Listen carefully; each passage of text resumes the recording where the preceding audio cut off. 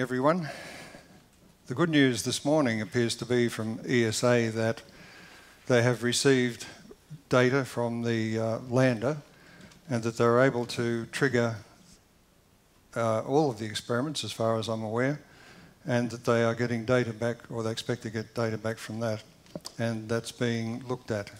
So hopefully we'll get some more information from them in the future to support the electric universe model of comets. But now I want to talk about the sun. If comets are fundamentally an electrical phenomenon, it's telling us something very important about the sun. And it's my contention that most of the mysteries of astronomy can, by, can be solved by really understanding the sun. What we have now is a complicated narrative constructed over several centuries that has proven non predictive in the space age. The noted Australian solar physicist Ron Giovanelli, working at the Mount Stromlo Observatory in the 1940s, and I should say Mount Stromlo is about 20 minutes from me, and uh, we have somebody in the audience who actually works up there, and so I see him occasionally at the astrophysics seminars. Anyway, Mount Stromlo in the 1940s, uh, Ron Giovanelli concluded that solar flares are basically an electromagnetic phenomenon in which electrons are accelerated by electric fields induced by changing magnetic fields. Now, this is uh, the problem that astrophysicists have in separating cause and effect. In 1984, he published Secrets of the Sun, where he writes in the introduction Today, there are five basic problems in solar physics. The first is the sunspot cycle, which is closely interwoven with the second, the structure of the convection zone, which is supposed to occupy about the outer 200,000 kilometres of the solar radius. And with the third, the variation of rotation rate across the surface and with depth. The final two are the heating mechanisms in the outer solar layers and the causes of flares. There are many other intriguing problems, but central to almost all is the nature of the sun's magnetic field. That's the end of the quote from his work.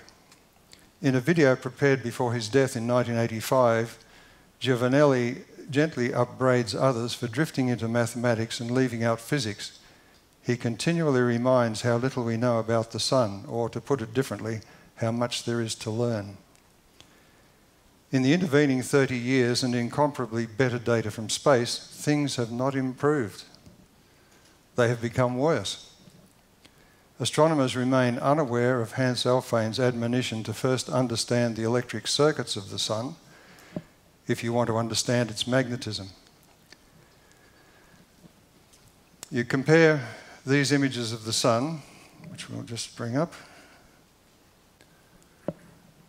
Compare these images of the sun with a comment by Fred Hoyle in Frontiers of Astronomy, that's back in 1955, where he wrote, We should expect on the basis of a straightforward calculation that the sun would end itself in a simple and rather prosaic way, that with increasing height above the photosphere, the density of the solar material would decrease quite rapidly until it became pretty well negligible, only two or three kilometres up. Instead, the atmosphere is a huge bloated envelope. Not only that, the atmosphere extends well out through the planetary system to the heliosphere. Ralph Juergens in 1980 stated the obvious answer for those not blinded by their training. And you see the quote here.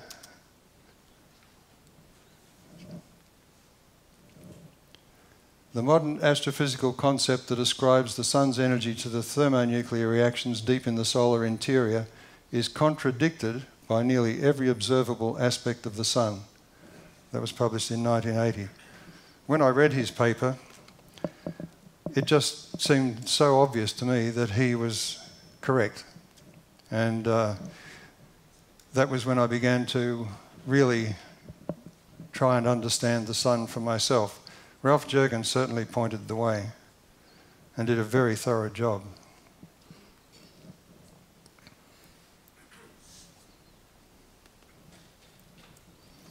So, what is a star? an undergraduate textbook on the structure and evolution of stars makes a star seem a very simple object.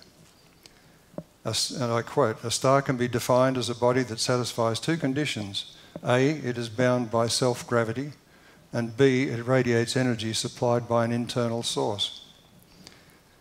Behind this definition are some critical assumptions that Sir Arthur Eddington bequeathed to us long before the space age in his 1926 opus, The Internal Constitution of the Stars. But how many students now read Eddington's original work with a critical eye? Indeed, how many read him at all?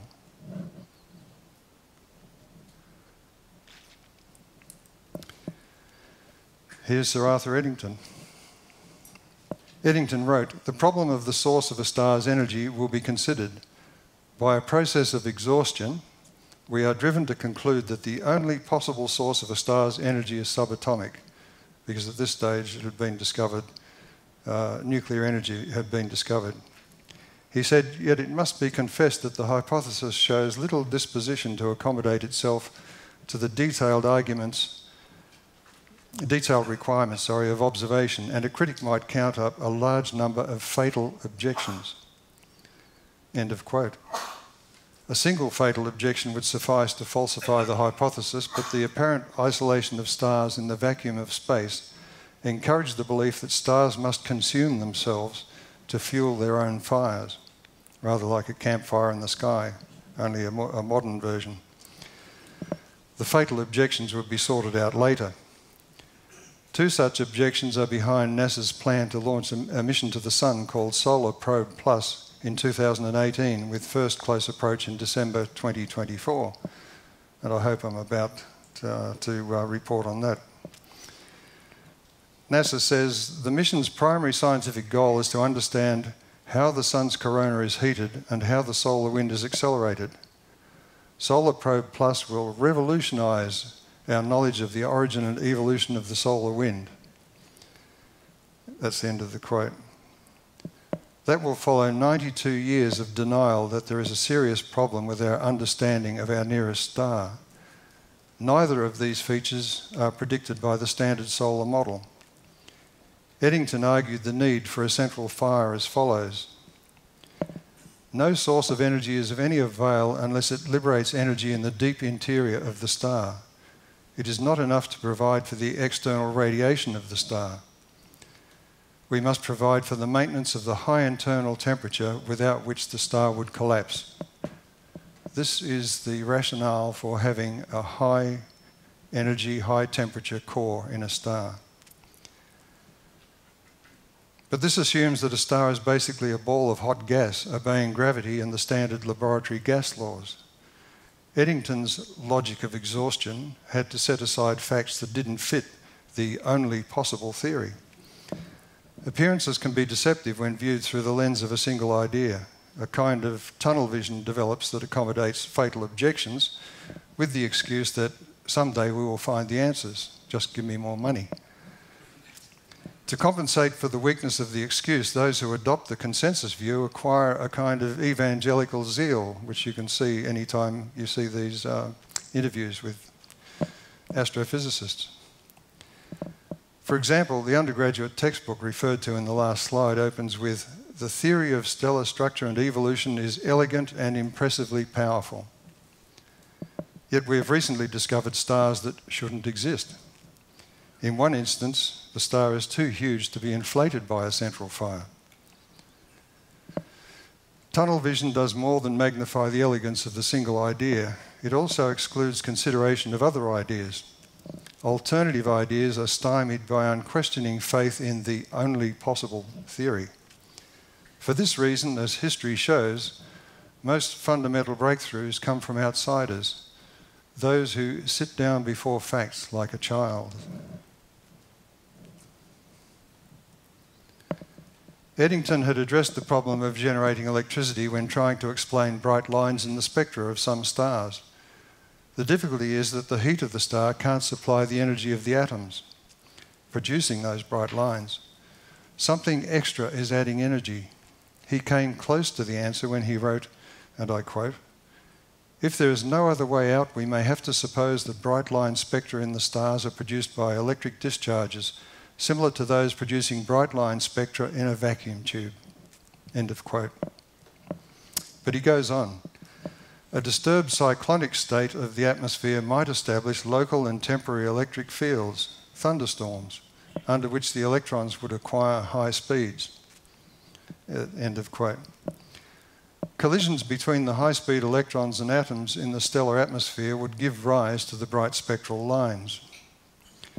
However, in a footnote, Eddington revealed the fundamental limitation of his theory of stars, and I quote again The difficulty is to account for the escape of positively charged particles. Unless charges of both signs are leaving the, uh, the escape is immediately stopped by an electrostatic field.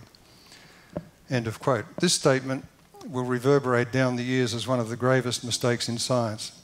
It is an electrostatic model of an isolated, self contained star. But stellar magnetism is an electrodynamic phenomenon requiring electric currents flowing in circuits, both within and beyond the star. Birkeland recognised this. Alfvén insisted on it.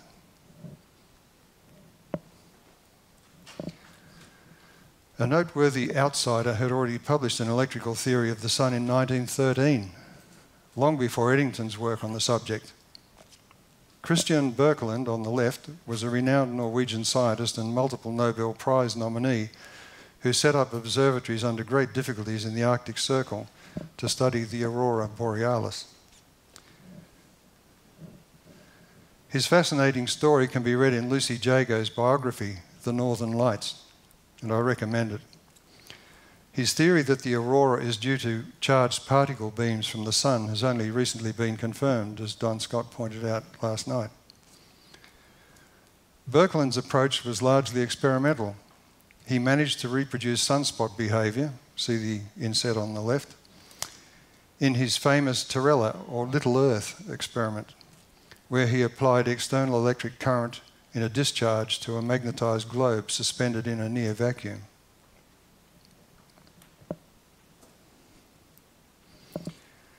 Another outsider was Charles Edward Rhodes Bruce, or CER Bruce. He was a Fellow of the Royal Astronomical Society, the Institute of Physics, the Institution of Electrical Engineers, and was a member of the Electrical Research Association from 1924 until his retirement in 1967. His interest in astronomy and research on lightning led him to write in 1968 Perhaps in no scientific discipline other than cosmology have so many theories got by on so little positive evidence. Imagination has had free rein, often at the expense of common sense. The main observational evidence indicating the existence of cosmic electrical discharges is the same as that which would lead an external observer to conclude that lightning flashes occur in our own atmosphere, namely, the sudden change they affect in the spectra and the spectra of the sun, stars, and galaxies. In the sun spectrum, lines suddenly appear indicating the existence of gas temperatures of hundreds of thousands or even millions of degrees. That's from his work Electric Fields in Space, published in 1968 in Penguin Science Survey.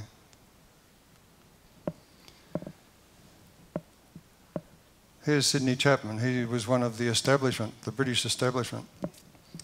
Sidney Chapman, Fellow of the Royal Society, studied magnetic storms and aurorae, developing theories to explain their relation to the interaction of the Earth's magnetic field with the solar wind.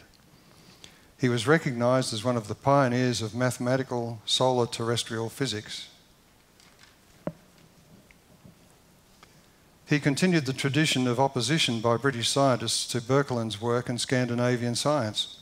He disputed and ridiculed the work of Christian Birkeland and Hans Alfvén, but later adopted Birkeland's theories as his own. Near the end of his life, he uh, did acknowledge Charles Bruce in 1964 in a publication called, the, or a book actually called The Solar Wind. And I quote, it seems appropriate to call attention to the ideas put forward over many years by Bruce concerning the importance of electrical discharges in the cosmos, and in particular in the Sun's atmosphere. Bruce agrees that the sun offers his ideas perhaps their greatest challenge because of the very high electrical conductivity of the solar material at all levels. Any electrical discharge in the sun's atmosphere demands an exceptionally rapid and strong means of generating differences in electric potential. End of quote. Here we see a recognised leader in the field who, at the end, allowed that the sun itself, as an isolated body in space, might somehow generate its own electricity. But today, scientists don't know how the Earth can generate its own lightning. And that may surprise you, but uh, one of the um, experts, uh, Dr. Newman or Professor Newman, uh, who's written on this uh, subject, uh, it's been his subject lifelong has admitted that we still do not understand what causes lightning. What actually causes that electrical separation sufficient to initiate a lightning discharge on the Earth, let alone on the Sun. All we have is a cover story, one of a large and growing list. Of course, you've all heard about the updrafts of ice particles and so on separating electricity. It doesn't work. In fact, uh, some years ago, I wrote on my website uh, the balloon goes up over uh, lightning, and uh, this was where high altitude balloons were flown above uh, thunderstorms. And the surprise that came from that was that the electric field already, the charge is already there, it's waiting to discharge through the cloud. It doesn't have to be generated in the cloud. So the source of the lightning is external. And of course, since then, we've seen sprites and elves and all of the other magical things that occur above powerful thunderstorms, rising to the ionosphere, and from the ionosphere to the magnetosphere, and from the magnetosphere, we already have these so called flux ropes, which are electric currents to the sun. So our weather is driven largely electrically, and this is something that climate scientists know nothing about. Oops.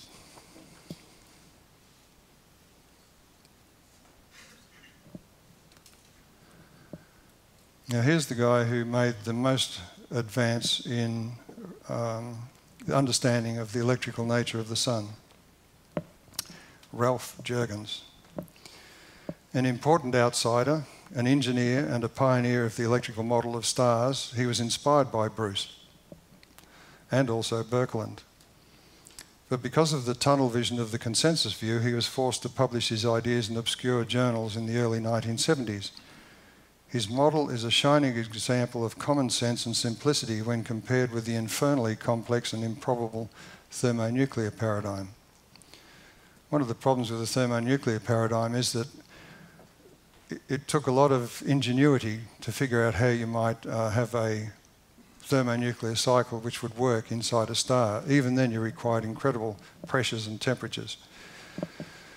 But what's more, some of those reactions, one in particular, uh, the uh, reaction rate varies as the temperature to the fifth power. Well, that is highly unstable.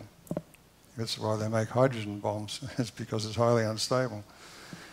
And one of the other reactions requires quantum tunneling. So there are all sorts of assumptions piled upon assumptions to actually end up with that so called wonderful thermonuclear model of how a star works. Juergens' model is simplicity.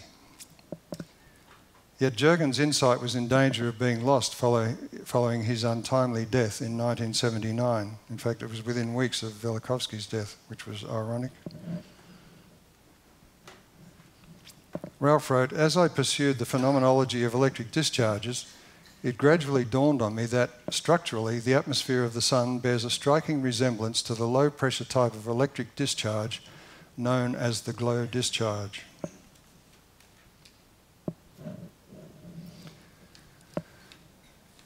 And when you look at the sun in that way, you can understand uh, how easy it is to describe what you see on the surface of the sun in electrical terms.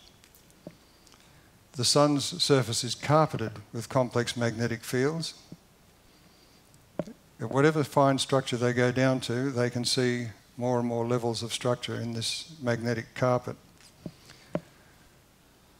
Now, as all electrical engineers know, only electricity or electric currents can produce magnetic fields. So what we're looking at is a seething storm of electric currents.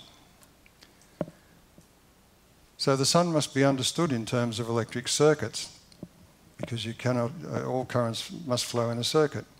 And the questions then are, where are these circuits and what creates them? Well, Hans Alfvén paved the way by drawing a circuit for the sun, but he assumed that the sun was the driver of that circuit and it was closed. So you had the uh, current flowing out along the equatorial plane of the sun, the so-called solar wind, and then somewhere at some distance, he said it, it curls back and it comes in at the poles. So he drew the circuit, but he assumed the sun was the driver without explaining precisely how that might work.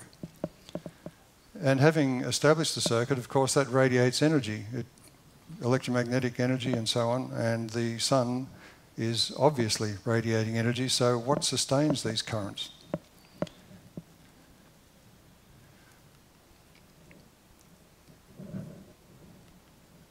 Sorry, I didn't flick through those. So there's the, the, the uh, summary of just what I've said. And here is the sun in that solar circuit. Remember I said there's a current flowing out here in this is the solar wind and it comes in at the poles. This, Scott, uh, this um, diagram is from Don Scott's book, The Electric Sky, and I recommend that book for anyone who wants to go into the, uh, the electrical theory of how this might work. The beauty of this relatively simple diagram is that it shows how you can explain the solar cycle. It's, it's simple. You don't have to rely on unseen things going on inside the sun. All of this is happening at the very top of the atmosphere of the sun, which is very highly conductive, of course, and can carry these currents. So, the greatest puzzle of the sun, its magnetic field reversals, is solved. The sun is subject to a varying DC or direct current power input and so generates alternating magnetic fields because the magnetic field always tries to oppose a change in the current. It's uh, rather like a power transformer, but one that's um, uh, operating with a current, a steady current through it with a, uh, a varying input superimposed. And this makes some kind of sense because these Birkeland currents, as uh, Don showed last night, can have waves passing through them to cause pinches and so on. So they're, they're a, a part of a circuit. It has a resonance. So I would suggest the uh, 11 or 22 year solar cycle, sunspot cycle, is driven by the resonances in the sun's circuit. Other stars have different resonances, and so their, solar, their stellar cycles would be different. So I refer you to Don Scott's book, this diagram is on page 112 and explained more fully.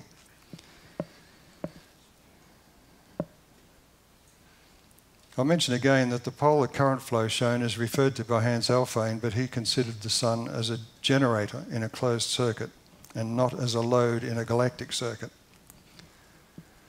So the principal difference in the electric universe model is that the circuit extends beyond the heliosphere and this has been confirmed by surprising discoveries by the Voyager spacecraft at the boundary of the Sun's interface with interstellar space, and the IBEX mission, which has picked up, as Don explained last night, the signals we would expect from an enveloping Birkeland current uh, pinch around the Sun. As for what creates and sustains the circuits, I will address that in my presentation on electric universe cosmology, which I think is tomorrow.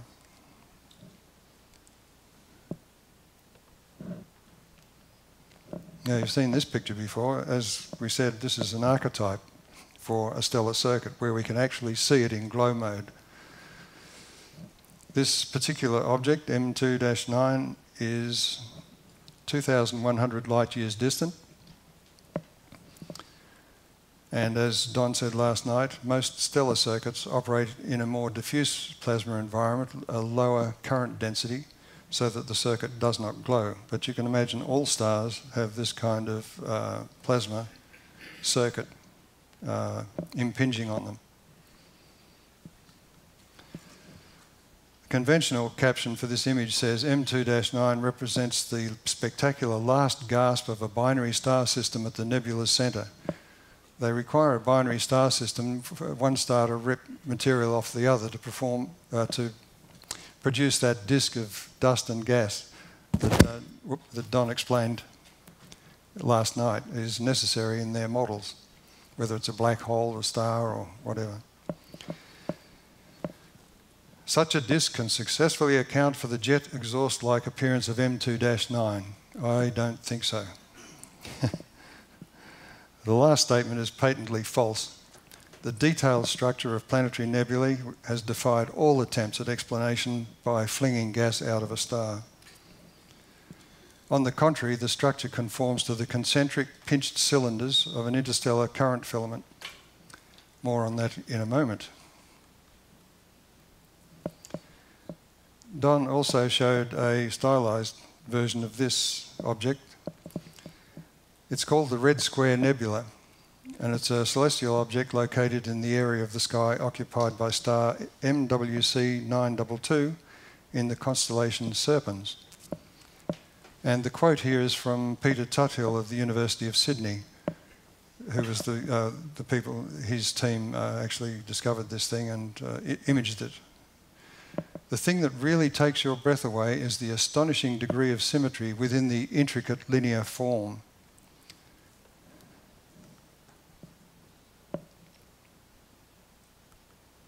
A series of rungs and conical surfaces lie nested, one within the next, down to the heart of the system, where the hyperbolic bicone surfaces are crossed by a dark lane running across the principal axis. This, of course, is your, once again, your dust lane, which is hiding what's going on inside. Then Tuthill makes the connection, and this is important. It is fascinating to take a second look at one of the most famous astronomical images of them all, supernova 1987A. And uh, that was also mentioned last night by Don, and I'll talk more about that. This particular object, the Red Square Nebula, is 34 times closer than supernova 1987A, so we see fine detail in the inner structure of the stellar circuit. Tuthill goes on to say, it's the best astrophysical laboratory yet discovered for studying the physics of generating the mysterious sharp polar ring systems like that around supernova 1987A. And he goes on, a system as complex and fascinating as this is bound to keep us guessing for years to come. How did this beautiful, crisp structure form, he asks. This is the million dollar question. Well, I'd like the million dollars, thank you, because I explained it. I explained it in a peer reviewed paper to the IEEE. Uh, and it is based, as Don explained last night, on Birkeland current filaments impinging on a star. What you're seeing there, these are double layers, seen edge on. The Birkeland current filaments, you can actually see the filaments themselves uh, in the original image. They're maybe a little hard to see here, but you can just see this hairy look here. And this is the, the pinch coming in here it's quite a fantastic image, and uh, I'm really pleased that it's been discovered and is being examined in detail because this is important. So let's move on. This is uh, the supernova 1987A, and the clue for this came from Tony Peratt's work.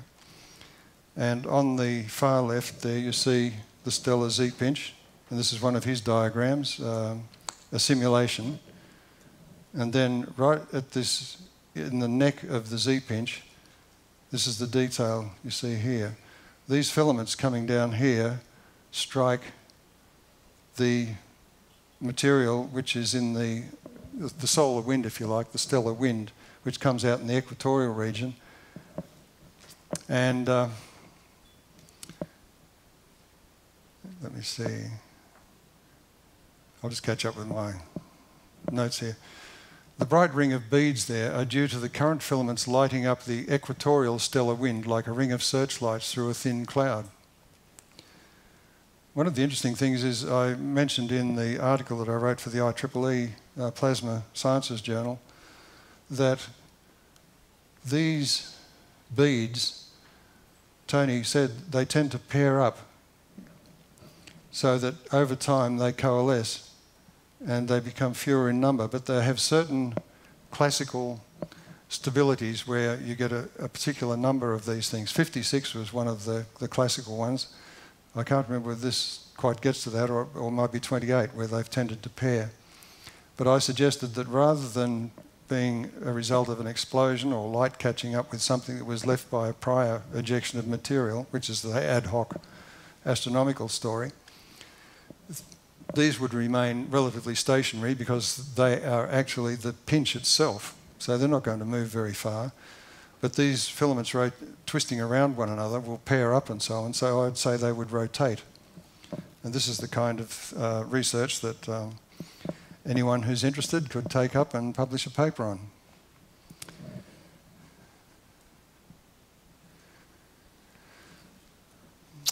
The more distant coaxial rings, you'll notice over on the right here, there are more distant ones. These are just double layers further along the pinch. And notice they're symmetric because the pinch is symmetric.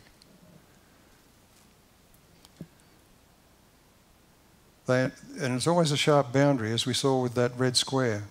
Those, those double layers form a very thin uh, layer, and they, uh, this is why it's so remarkable for astronomers. How do you form such delicate structures if this is all due to material blowing out of a star?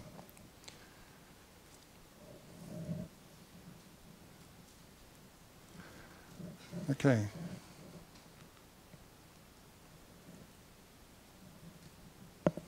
So we come to the sun's environment, and Don dealt with this, but I, it's worth talking about again. And it was published, this uh, uh picture was published in May 10, 2012. New IBEX data show heliospheres long theorised bow shock does not exist, was the quote from that article.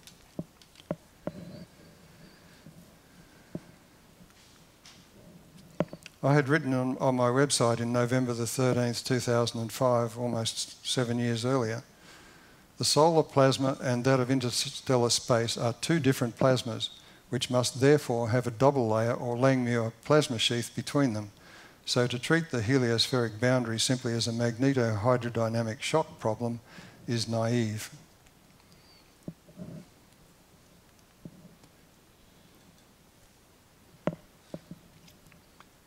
The heliosphere is the boundary of the sun's electrical influence. That's where the sun's uh, presence in the galaxy meets the interstellar regions of the Milky Way. So the heliosphere is the boundary of the sun's electrical influence. And Juergens said most of the sun's driving voltage appears across this plasma sheath simply because of the uh, these uh, graphs here, which show the relationship of a normal plasma discharge tube. So this is in the laboratory. These are the curves you find in the laboratory. And if you apply that to the sun, here's the sun, the positive electrode, come down here, there's the sun. As you move out from the sun, you'll notice that there's only a very uh, shallow voltage change. And this is important because one of the um, arguments against our work has been if the sun is electrical, there should be all these relativistic electrons and particles streaming past the Earth. No, not at all. The voltage difference is very slight, such that it's just enough to cause the electrons to drift towards the positive anode, and in the opposite direction for the solar wind to be accelerated rapidly close to the sun, and then it just continues accelerating very slowly out towards the heliosphere until it hits this bump. And I predicted before the event that the solar wind would slow down uh, more than expected before it got to the boundary, and that was found to be so. There were articles saying uh, there was no explanation for why the solar wind should have suddenly stopped. Well, that's the answer. It's a, an electrical discharge. So I'll just repeat. If you refer to Juergens' original work, you will see that he invokes a very large voltage driving the sun. But he was assuming that all of the sun's radiant output must be accounted for by the electrical power input. But we have the evidence for that nuclear fusion is taking place at the sun because we've got neutrino images now. I don't know whether you saw it some months ago. There was a picture published which showed this, this uh, glow, circular glow in the sky. It was rather pixelated because it's not very good definition. And right in the centre was a little circle, and that's where the sun is. So the neutrino telescope, if you like to call it that, is very low definition. So you cannot tell whether the neutrinos are coming from the core of the sun or from the surface of the sun. It's unable to distinguish. So what I'm saying is that the electrical power required to catalyse photospheric nuclear fusion is yet to be determined. But the electric universe model says that stars, all stars, create the heavy elements in their photospheres. It's all happening right in front of our eyes. You don't have to postulate any crazy things or crazy conditions inside a star. It's all happening right in front of you. And that makes sense. I mean, nature always does things the easy way. And if that's the easiest way, and I'm sure it is, then that's the way we should be looking at.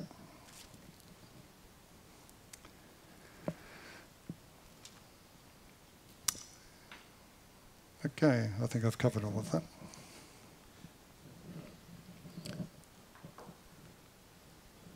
Now we come to the plasma focus.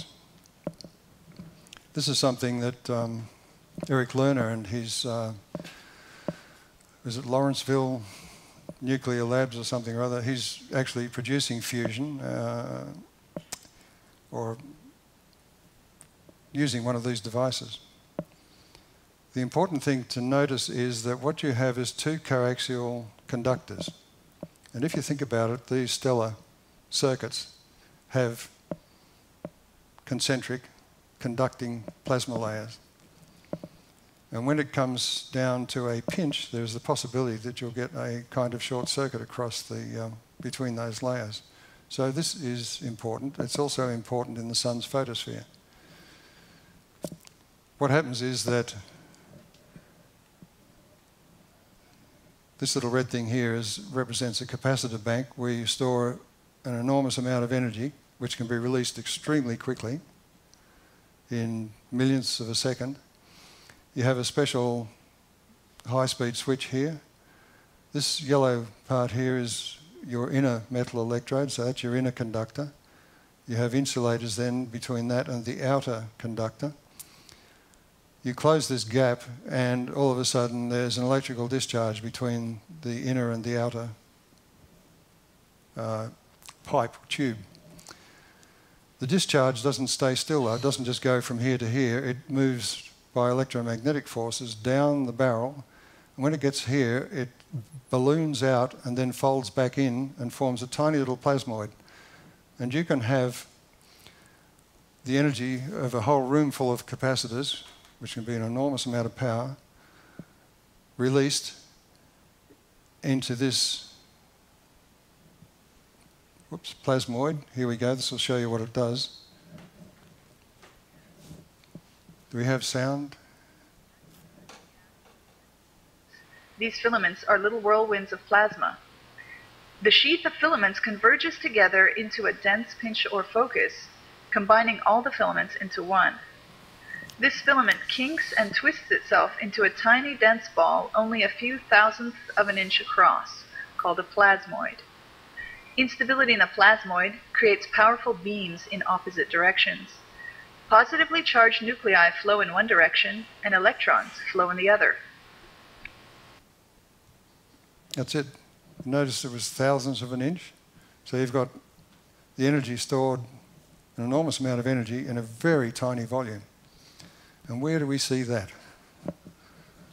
We see it in the centres of galaxies. We see it in blazars, any of these very highly concentrated point sources of radiation. One other aspect of these devices that I should mention is that it's not only X-rays and particles that come out of the uh, beam, it's also the most copious source known in the laboratory of neutrons. And neutrons are very important when you want to create the heavy elements because you need a, a supply of neutrons to uh, add to the nuclei, which can then uh, beta decay and whatnot and, and, give you all the various elements up the table, up the um, uh, chemical element table, and, and the isotopes as well.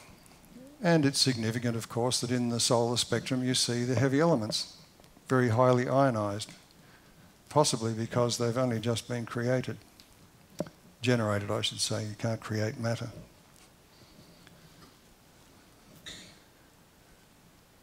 So we go back to um, our beautiful M2 9. I've just put the little plasma focus down the bottom here as a reminder. Here you have your concentric cylinders. And if there is a breakdown between the central column, which you remember there's a central column of current. So if you have a breakdown between the inner cylinder and this central column, you will tend to form a plasma focus effect. And these flyers have some of that shape. You can see that this kind of curved shape. And they're, they're a real anomaly. There's no explanation for them.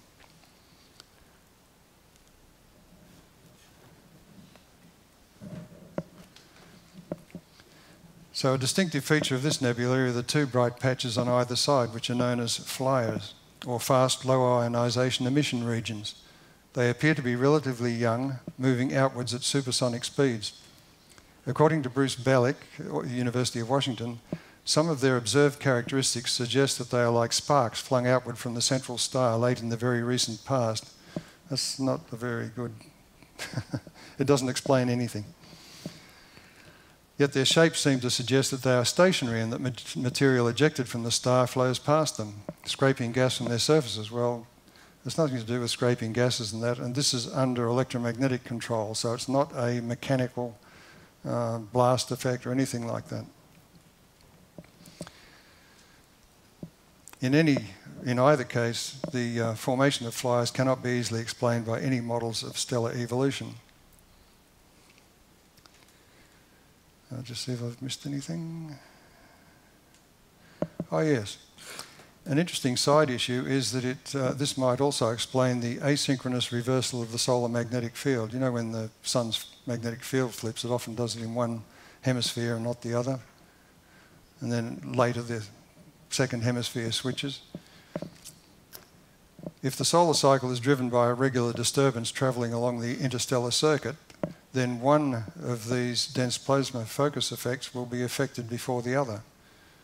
But as you can see, the complexity of a star's circuitry will require a lot more research.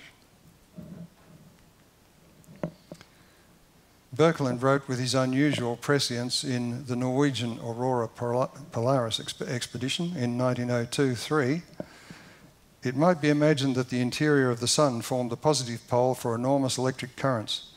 This was Juergens' conclusion also. This assumption has the advantage of appearing to give a natural explanation of the movement of the sunspots in various latitudes, he wrote, which he demonstrated with his Terrella experiments.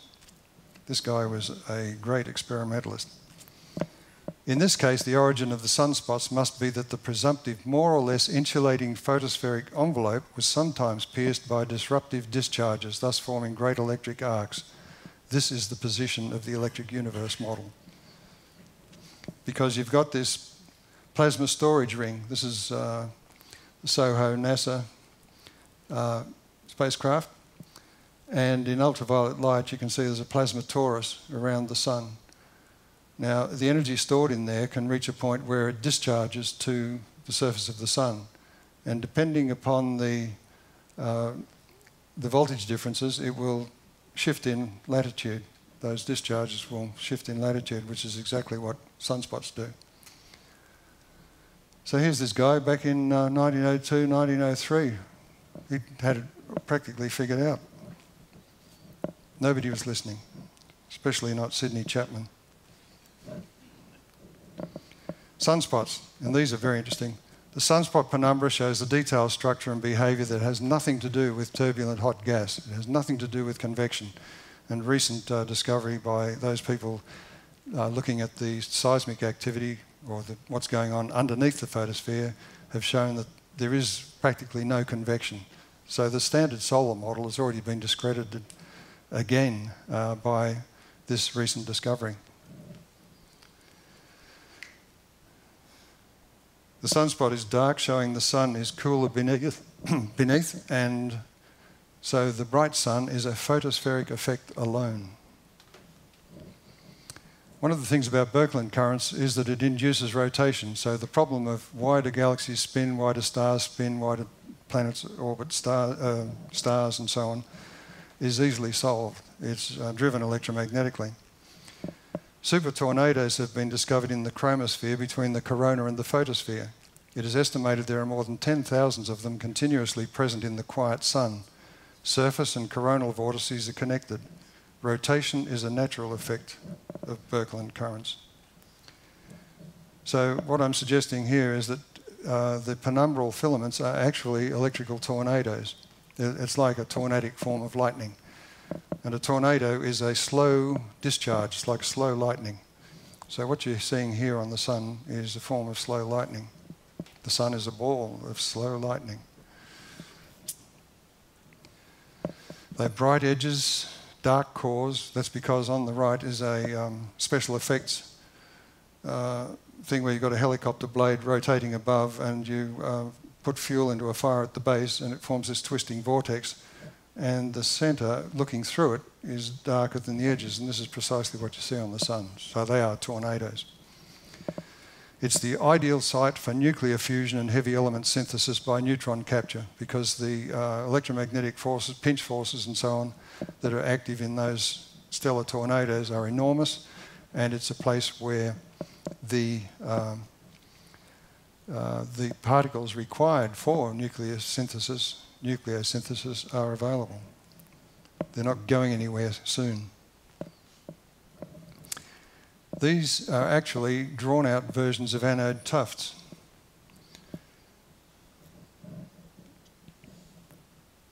Just a moment. Bright plasma tufts form as a secondary plasma in the primary plasma of the discharge. The number of tufts increases with increasing current density and the tufts float about above the anode and are hotter than the anode. This is why this photosphere is bright and it's darker underneath. The space, they space themselves apart evenly over the anode surface, and penumbral filaments have the features that may be expected of anode tufts in a gravitationally stratified atmosphere. Rather like the Earth, we get tornadoes, it gets bigger ones. The electric photosphere, this is uh, a diagram that um, was based on Juergens' work. And Don Scott noticed that this curve has the shape of a transistor. And the beauty of this is that a small change in voltage here, because what happens is the positive particles in the sun, any that have sufficient energy and get into here, are free to move about and any that get over to this side here will suddenly reach the edge of this waterfall effect and be accelerated to form the corona. I have to go through this fairly quickly because I'm running out of time. The, this is the tuft area. These are those electric tornadoes. This is where all the um, nucleosynthesis is taking place, I think. Just a small change in voltage here raises the barrier for these particles escaping from the sun, so it's a very good control barrier.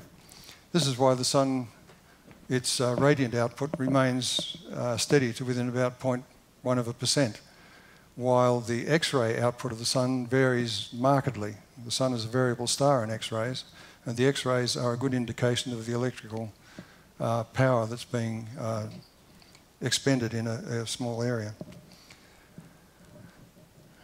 So the tufted sheath forms a barrier for protons escaping the sun, and the spicules, which are these little jets that occur between them, provide electrons uh, to stabilise the sheath, just like the porous anodes used in some arc lamps. There is no explanation for spicules in the standard model. So, summarising, Electrical energy arrives at the Sun from dark mode galactic current filaments.